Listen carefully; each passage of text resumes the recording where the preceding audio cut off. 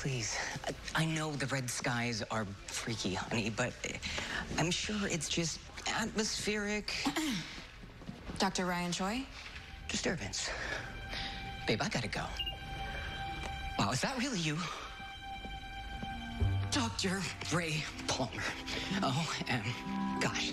I'm Ryan Choi. It is so wonderful to meet you. Your second paper on subatomic density manipulation was the foundation for my work on miniaturization.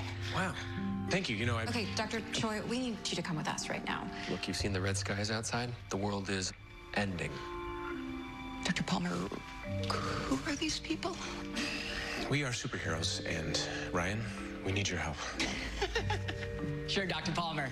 Good one. And next, you're going to tell me I've been nominated for the Breakthrough Prize in Fundamental Physics? Okay, we don't have time for this. Seeing is believing, right?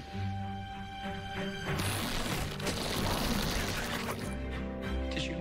You're elongated man? Are, are you superheroes too? I know this sounds cuckoo, pal, but you're what's called a paragon, which is a fancy word for saying we need your help to save the universe. Dr. Choi, If the world's ending, I, I need to go home. Please, Ryan, we really need your help. No, you don't. I'm no hero. I'm a husband.